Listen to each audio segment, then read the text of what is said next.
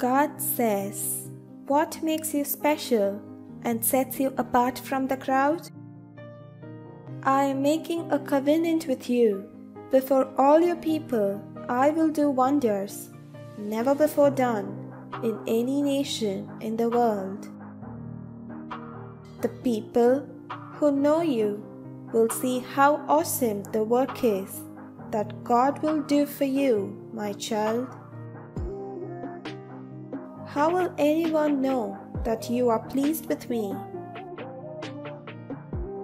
My child, check your life right now and see if you are living a holy life. The more you read the Word of God, the more you will be sanctified and you will receive the truth from the Bible, which will help you to live a pure life. Fear the Lord, you His holy people, for those who fear Him lack nothing. No one is to come with you or be seen anywhere on the mountain, not even the flocks and herds may graze in front of the mountain.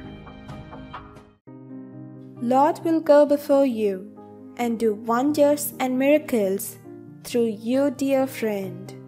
This is what the Lord is promising, especially to you today. Jesus said, You did not choose me, but I chose you. He heals the brokenhearted and binds up their wounds. He determines the number of the stars and calls them each by name. His pleasure is not in the strength of the horse, nor his delight in the legs of the warrior. The Lord delights in those who fear him, who put their hope in his unfailing love.